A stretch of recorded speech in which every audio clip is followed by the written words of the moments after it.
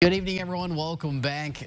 Big signing day all over the Wabash Valley. 11 student athletes showcasing for you. We start in Brazil on this Wednesday where Northview senior Elia Hayes makes it official, signing to run cross country and track at Indiana University. Hayes finished 16th in the state finals just a couple of weeks ago.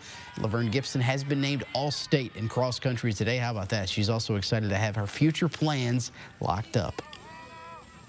I'm so excited. It's been something I've been thinking about for so long, so I'm so glad to have the decision done and just everything final and ready for the next four years for sure. The coaches and the teammates were literally perfect. I love them so much. I felt at home when I was there, so I just, it was great. They were all fantastic. Hayes has plans to be a physical therapist as she continues her education, of course, at IU. Wednesday.